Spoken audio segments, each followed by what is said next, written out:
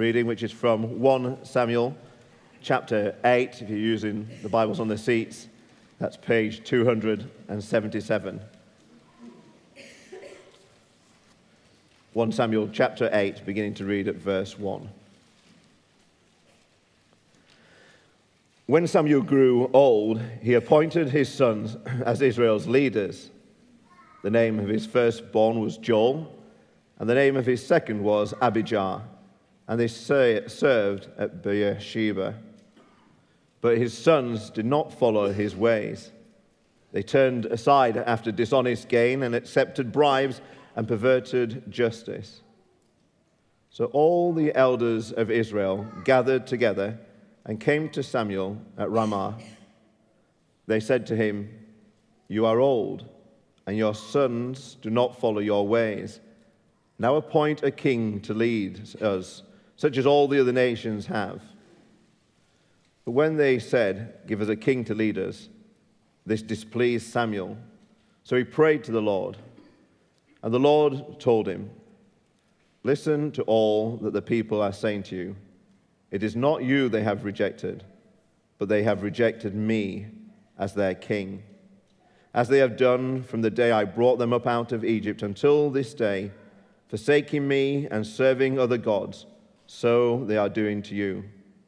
Now listen to them, but warn them solemnly and let them know what the king who will reign over them will claim as his rights. This is the word of the Lord.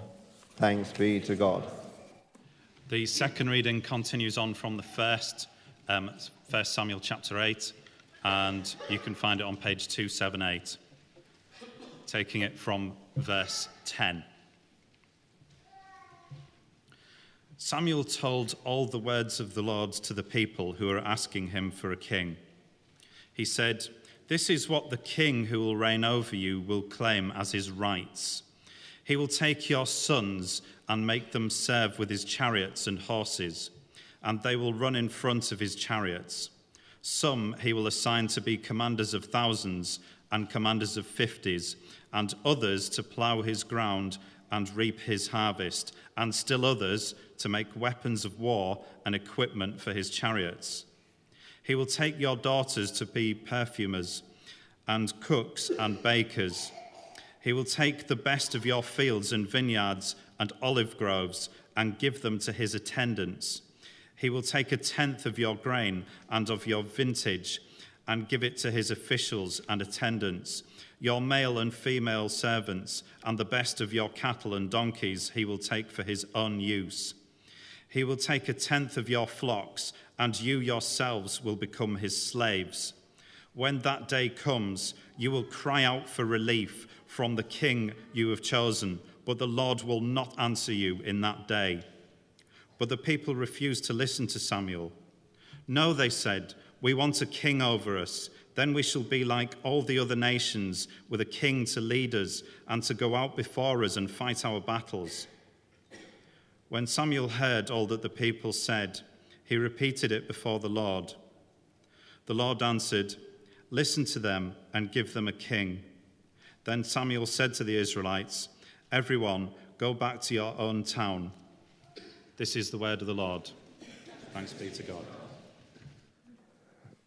Holy Spirit of God, we pray that you use these words this evening, this passage that you inspired to save us from our foolish choices and to purify our hearts that we might be ready to do your will.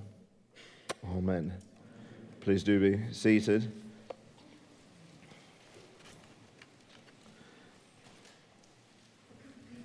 Do turn to 1 Samuel chapter 8, page 277. If, if you're feeling a, a, bit, a bit of a weird mood one evening um, and you would like a, a bizarre um, experience, then watch um, a music video by Radioactive Chicken Heads performing um, I Looked into the Mirror. Here's some of the lyrics. I looked into the mirror what did the mirror say? You're the ugliest kid I've seen. Will you please go away?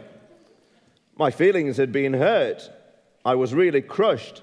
I'd combed my hair, washed my clothes, my teeth had all been brushed. I took my father's brand new coat and my brother's blue bow tie. I came back to the mirror to get a new reply. Mirror, mirror on the wall, how do I look? Just like that ugly kid, the mirror said as I withdrew. I couldn't fool that mirror, no matter how hard I tried. So there you go, you'll all be going home to listen to that watch the video, no doubt. Sometimes a mirror speaks to us and we just don't like what we hear. And 1 Samuel chapter 8 is a mirror just like that. It shows us the ugliness uh, of Israel's heart, their attitude towards um, God in the days of Samuel, but it also reveals the ugliness of our own hearts. It's a, a mirror that's held up to Israel that they always have to face, and that also a mirror that reveals things uh, about us. Children often um, get hooked on certain jokes, and my children um, loved one joke. They used to come and say, Dad, do you want to see something ugly? And I'd say yes, and then they'd hand me a mirror. I'm sure you've probably had that joke played on you. And they do it time and time again, and you obviously have to give way and say yes. And 1 Samuel 8 does that to the people of God. I guess in the canon of Scripture, if Israel, someone went to Israel and said, You want to see something ugly? Then they pull out 1 Samuel chapter 8. But he does the same for us as well as the people of God and for um, the church. And the first thing that this passage teaches us is that the people of God, we make some really dumb decisions, verses 1 to 3. Now, think about what, you've, what we've seen so far in 1 Samuel um, Eli's son were appointed leaders, and they were a complete disaster area. Uh, and now in chapter 8, Samuel's sons have been appointed as leaders, and we read in verse 3 they turned aside after dishonest gain and accepted bribes and perverted justice. Now, you would think that the leadership in Israel at this point would have lodged in their minds an alarm bells about people's sons, wouldn't you? And they just think to themselves, well, the last thing we really need is any system where you will pass on automatically the leadership to the sons, because we've had two complete and utter disaster areas in Eli's sons and Samuel's sons. But it's precisely into this situation that Samuel tells us that the people cry out for hereditary kingship. I guess the eldership were made up of dumb, dumber, and dumber still. That's who they had running Israel at this um, time. Can you imagine them walking down the street and saying, chatting to one of the guys, this situation that we're working with is absolutely hopeless. We're getting some real duffers of sons, aren't we? Uh, just think of Hophni and, and Phinehas, Eli's sons, and, uh, and now we've got Joel and Abijah, Samuel's son. It's absolute disaster area. Oh, I know. And the one who turns around and says, Oh, I've got a great idea. An absolute corker, a belter. What is it? Kingship. What does that involve? Oh, that involves that the leadership is automatically handed over to the eldest son of the current king. Belter will go for that. I mean, it makes no sense whatsoever. And yet, it was perfectly reasonable in their mind. Their request seemed to them the best thing given their current situation. Just view it from their eyes for a moment. Samuel, verse 1, is old. Their leader is going to die. So they've got the fear of the unknown. His sons are corrupt. Their leadership is diabolical. So they're frustrated with this unwanted leadership. Danger surrounds them. We'll find that out in chapter um, 12, they're in a dire situation. They're frightened about the unthinkable. So there you have it fear of the unknown, frustrated with the unwanted, frightened of the unthinkable. And that's what makes these leaders, the leadership in Israel, come to Samuel. See, their request for a king seemed perfectly rational, perfectly reasonable. However, Yahweh, the Lord, saw it as a rejection of his kingship. If we remember some of the lessons we've been taught in 1 Samuel already, we would know that the elders should have awaited a, word from the Lord by his prophet. But as so often happened in those days and in our days, the people come to the prophet not to listen to him, but to dictate, dictate terms to him. See, it was a dumb decision, a dumb decision that day, sidelining God's word in favor of worldly wisdom. That's what happened.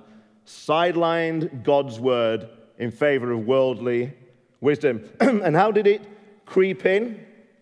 Uh, how, did it, how did they justify it? Well, here's what's going on in their heads. And just think about this because you hear these things all the time. Whenever we sideline God's word in favor of worldly wisdom, they said, well, our request is completely reasonable, clearly logical, obviously plausible, and yet utterly godless.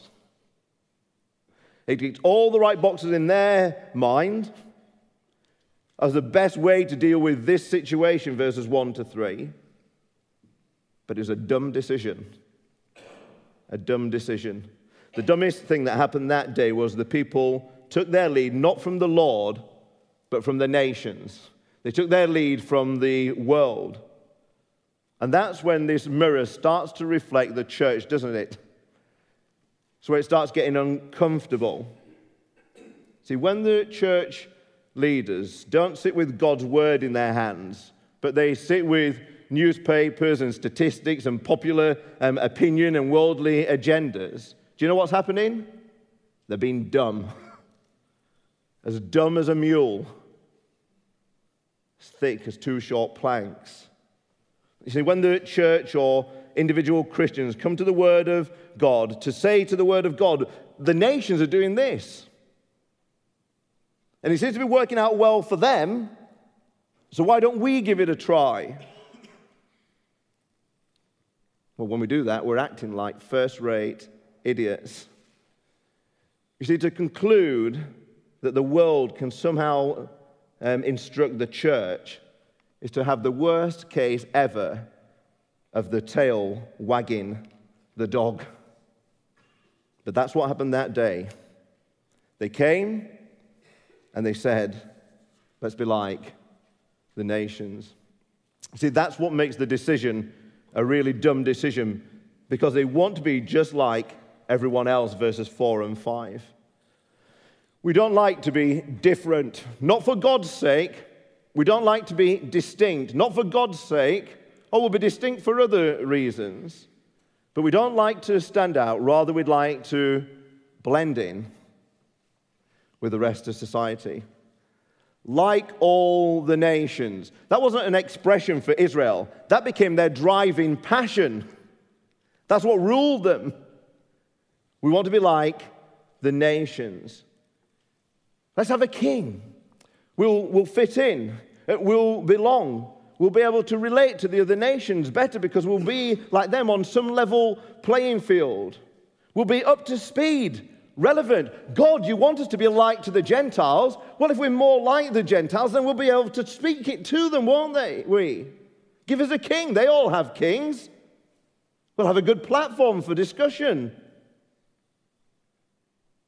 But Israel wasn't like all the other nations. She'd been taken from the nations to be God's treasured possession, to be a holy people, a royal priesthood. She had experienced God's blessing. She had heard God's voice. She had received God's commands. She had seen God crush the enemy. See, Israel could not escape being different, but she tried. And the church cannot escape being different, but we try.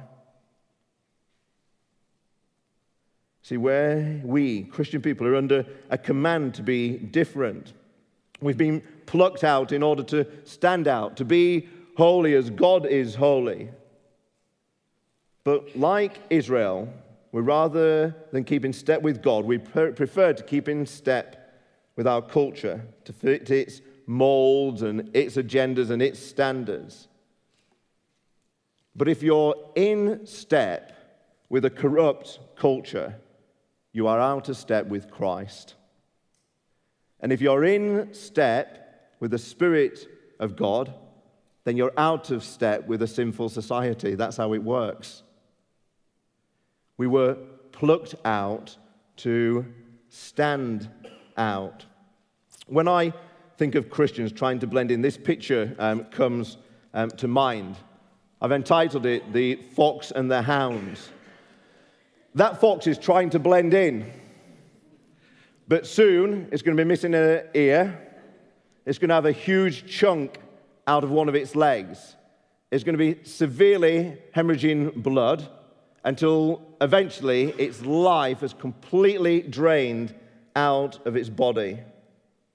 And when the church, and this was the case for Israel, when we seek to blend in with society, we have chunks taken out of us. The life starts hemorrhaging from our body until eventually there is no life left within us. And then, how does the church present a life giving message if there is no life in the church? We can't. Let me tell you something categorically. If you try to blend in, you get blended. Okay? If you try to blend in, you get blended. You get chopped up, shredded, until you're just a mush of Christian thinking and Christian living. Blend in, blended. You see, now I know it's hard to stand out in the middle of a crooked and perverse generation. I understand that. I experience that. And so, why should the church or Christians individually have a different definition of success? Why should Christians have a different moral standard? Why should Christians have different viewing habits? Why should Christian conversation be very different to those around them? Because we're different. Because we've been plucked out to stand out. Because we've been called to be a holy people. See, one of the lessons, one of the vital lessons that we have to learn as Christians is to have a wholesome disregard for other people's ways. They wanted to be like the nations around them. And it's a cancer in any believer. We have to have a wholesome disregard for the ways of other people. We're not like them. We shouldn't pine after what unbelievers have. We shouldn't want to be like them. You're different. And what you've got to do is embrace it, love it, live it. That's the call of Christ upon our lives. So, we as God's people make some really dumb decisions. We make those dumb decisions because we want to be just like everyone else. And when we start acting and desiring just to be like everyone else, we act as if we don't belong to the gracious Lord, verses 6 to 9.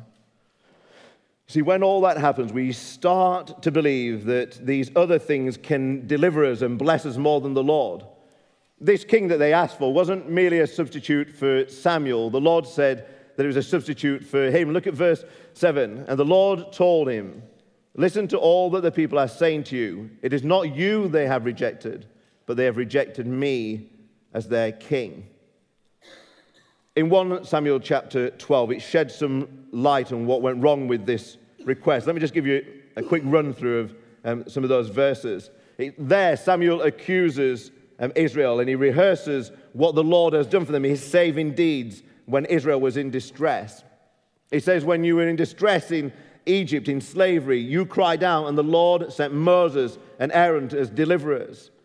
But you forgot me, and you, so I subjected you to various oppressors in the time of the judges. And so you cried out to the Lord, confessing your sins and pleading for deliverance. And so the Lord sent Zerubbabel to deliver you.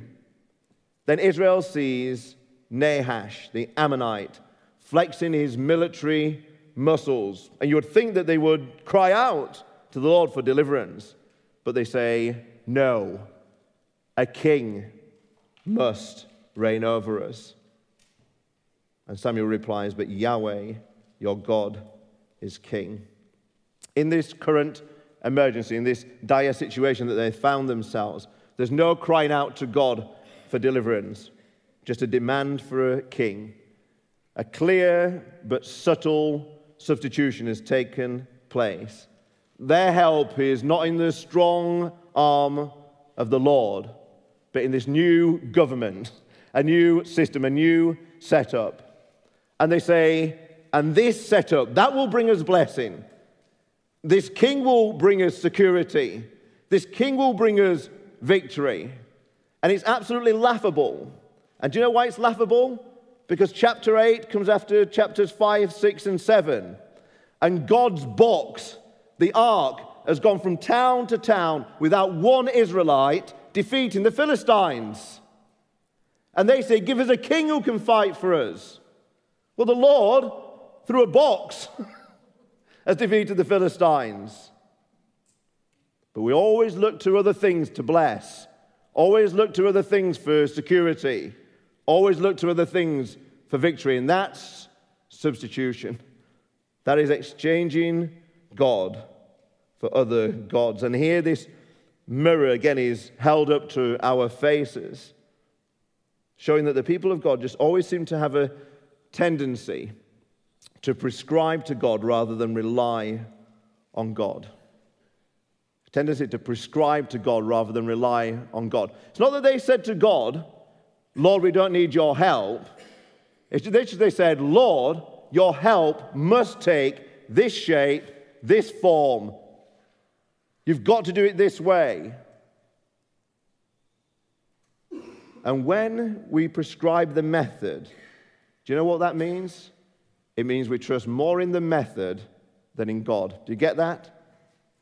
We absolutely need to get this. If we prescribe the method, we trust more in the method than in God. And with this in mind, God knew exactly how to answer the elders. Do you know how he answered them? By agreeing to their request. God frequently responds to the rebellion of his people, demanding for substitutions by allowing them to be subject and experience worldly, unbelieving rule that will start to dominate their life. This is not because God is somehow thwarted by the elders' stubbornness, or that somehow God is at his wits' end and he thinks, oh, forget it, they can have a king. Rather, God intends this humbling lesson for his people to result in future repentance and restoration. Sometimes, let me tell you, all throughout the history of Israel, sometimes God will give in to your dumb requests to show you how dumb they are and to show you how dumb you are. Do you understand that? That's what he does to us because he loves us. But sometimes his greatest judgment is giving us our own requests. So the, we make, as God's people, we make dumb um, decisions. We do this because we want to be like everyone else. And when we want to be like everyone else, we forget that we belong to the gracious God. And then we end up submitting ourselves to takers rather than the giver. Verses 10 to 18. Samuel's summary uh, of the king's way is simple. He will take, he will take. It occurs so many times, doesn't it, in those verses. But then you've got to look at the emphasis he places on the direct objects of the verb in order to see. He's going to show them how um, many precious possessions a king will demand for himself. It's as if Samuel says, Look, think of your sons. Think of them. The king will draft them as charioteers, as horsemen, as commanders, and farmers and laborers. And then he really sort of plucks on the heartstrings. He says, Well, if that's not enough, think of your daughters. Um, your daughters will become um, perfume makers, cooks, and bakers. And if that doesn't move you enough because you're not moved by your children, he says, Think of your property. Do you think that will be secure? No, your finest fields will go to the king and his favored people. No, he will take, take, take. He will take your things to enhance his things. And there's a word for this. It's called slavery. You'll start having flashbacks of a life that your ancestors once had in Egypt when they were under Pharaoh. You'll have nightmares and day terrors about oppression.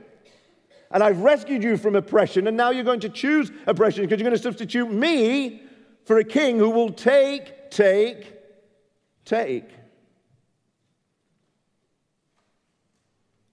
But that's what God substitutes do idols, idolatry. That's what the Bible calls it. They take rather than give. And they take and take, and we give and give until we're in servitude without realizing it, and somehow kind of quite happy with it. What is an idol?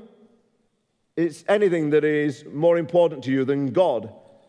Anything that absorbs, absorbs your hearts and imaginations more than God. Anything that you seek to give you what only God can give you. That could be money, it could be job, it could be success, it could be an education, it could be a relationship, it could be family, it could be any number of things. Almost always a, a good thing that we make an ultimate thing. But idols make a dodgy used car salesman look like an honest, honest dealer in comparison. If I was really good uh, with PowerPoint, I was going to try and put Richard Hawes's face uh, into that guy. See, idols promise you that you're going to get an excellent deal at a knockdown price, or we'll deliver the goods for far less than what others are offering you. They say, Oh, the idols say, We're going to deliver blessing to your life, this relationship, this job, this success, this status. We'll deliver um, blessing to you for minimal monthly payments. Oh, it's a special deal. You'll drive away a bargain and have a beautiful life. And then you sign up and you're locked in, and the hidden costs come and they rocket and the benefits diminish and it's slavery, servitude. The reality is that idols quickly gain control over us and we become slaves to them. 1 Samuel 8 is showing the high cost of what they asked for when they rejected the Lord in favor of the king, when they replaced him and substituted him. If you read those verses 10 through to 18, it's saying, here's the cost. It's high. See, let's remember what the Bible teaches about the economics of idolatry. The price is always too high, and the ride is always too short. So, why sign up? And why sign up when we've been so adequately warned? Isn't that the sad thing? Let me run through it again. See the flow of the narrative. We make some really dumb decisions as the people of God. We make those dumb decisions because we want to be just like everybody else, the nations around us. When we just want to be like everybody else, we forget that we belong to the gracious God. When we forget that we belong to the gracious God, then we hand it over to takers rather than the giver. And we do all this while we're adequately warned. While we sit in seats and in pews in front of faithful preachers who are telling us the consequences week on week and yet we say, Give us a king. We do all this with our eyes wide open. You see, after that relentless taking portfolio of the king, they've got to change their minds, haven't they? They're not going to sign up for it now, knowing what the, the, the Lord is a giver, a giver, a giver, and the king's going to be a taker, a taker, and taker. But verse 19, the people refused to listen to Samuel. Now remember, they refused to listen to Samuel Samuel, who, chapter 3, verse 19, none of his words fell to the ground. Surely you can heed somebody when none of his, word, none of his words fall to the ground. But no. Israel will not allow wisdom to lure her away from the folly she so eagerly wants to commit. And here's the real tragedy, verse 22 Samuel is to listen to their voice while they refuse to listen to his. See, when the prophet has to listen to the people, while all the time the people are not listening to the prophet, then you're in a real pickle. But that is where we find ourselves in the UK now and the church scene. This mirror is picked up again, and Israel's pig headedness should instruct us. It teaches us, for example, that knowledge or information or truth doesn't itself change or empower. Or knowledge can present the path that lies before us, but that doesn't stop us stubbornly, pig headedly walking down it. As I was writing this paragraph, I was typing it in my computer, and one of my children entered the study to ask if they could play on the PlayStation later. And I said, Well, I've already told you, you can have half an hour before tea. So I replied that if they came in again and interrupted, then the answer would be no, and they'd lose their half an hour and that they could play on the PlayStation. Five minutes later, the door creaked open, and a little voice said, Can I play on the PlayStation? See, even with the consequences clearly laid out in front of us, we make the wrong decisions. Pig headedness, hard hearts. Israel hears God's wisdom, but they won't submit to it. God gives her instruction, but she's unteachable. And why? because all she's asking for is so plausible, so reasonable, so acceptable, just respectable. So why would the Lord say no? See, it takes the Spirit of God to hammer the Word of God into the thick skull of the people of God so that they won't make dumb decisions that enslave them. 1 Samuel 8 is a, a mirror. It reveals Israel, it reveals Israel's heart. But it's our mirror too. It reveals the church, it reveals you and me more perfectly than we understand. Because even now, many will just reject what has been said because they favor their own thoughts. It reveals how easily we misplace our trust it reveals how easily we're ashamed to be different. It reveals how resistant we are to a word when it comes to us that doesn't agree with our opinion. I found this um, sticker. It was, uh, well, it's a sticker from a, it was on a mirror in a public um, toilet. Uh, warning, reflections in this mirror may be distorted by socially constructed ideas of beauty. Well, we know, we know what it's getting at, we know what the agenda is. It just made me think what if we replaced beauty with the word God or truth or morality or holiness? Reflections in this mirror may be distorted by socially constructed ideas of morality. See, 1 Samuel 8 is a mirror that reveals where we've been distorted by sinful society. But it reveals it in order that we might be restored to beauty. But beauty as is reflected in that great King that we've been singing about this evening, the Lord Jesus Christ. Let's pray.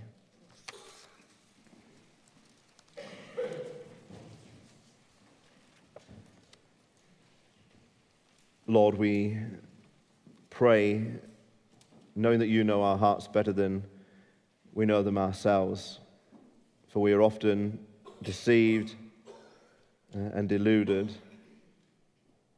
We're so often dumb um, to the things of Christ. Penetrate through the fog, we pray, gracious Father, to instruct us that we might indeed live in obedience to you and honor you as our King, loving you and recognizing you, the great giver. And in doing so, that the lure of the world will be weakened in its grasp on us. We pray all this for your glory. Amen.